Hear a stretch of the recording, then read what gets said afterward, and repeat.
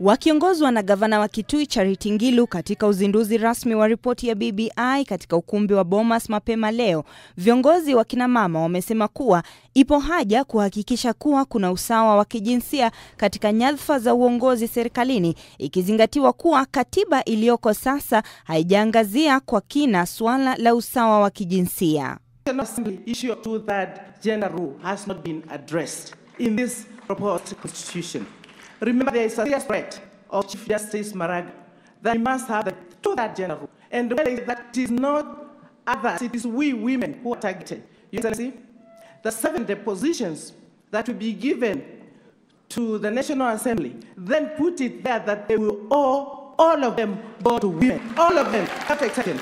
Ni usemi ulioungwa mkono naye mbunge wa Likoni Mishi Mboko ambaye amesema kuwa ripoti ya BBI itawainua kina mama kuchukua uongozi. Vile vile katika seneta sasa hivi tulikuwa tu na masenesa wateuliwa kumi na sita na wale watatu tu wachache waliochaguliwa, lakini sasa tutapata sauti ya kina mama waliochaguliwa kikura watakaokuwa na haki ya kupiga kura pale katika bunge la seneti na kuweza kufanya maamuzi ya kuhusu mambo ya county government zetu pale mashinani.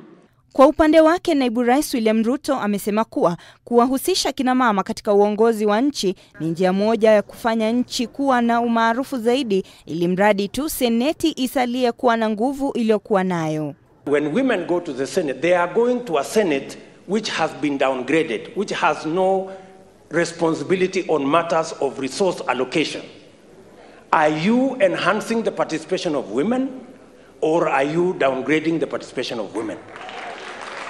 Aidha, mamlaka ya seneti kulingana na katiba ni pamoja na kutunga sheria, ugavi wa rasilimali na pia kutathmini utendakazi wa viongozi wakuu serikalini kutoka uongozini kama vile rais na naibu wake, spika wa seneti na naibu wake, na pia magavana, swali kuu likiwa ni je, katika mabadiliko yaliyoangaziwa katika BBI, seneti itasalia na majukumu hayo?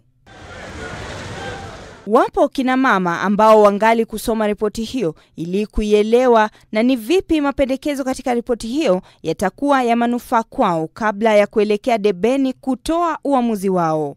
Mimi kwa ukweli sijaisoma. Sasa mimi pia ningependa inifikie niisome ili mpate kuielewa. Ikifika hapo siku ya kupiga kura, kura yangu isipotee. Sijaelewa hii mambo na BBI but nimesikia kwa TV kuwa wamama pia wamepewa first priority kwa nini, as in kama mimi nani huu mwenzangu ni president, kama baba ni president, mama pia anaweza kuwa deputy president wake. Robi Omondi, K24, saa moja.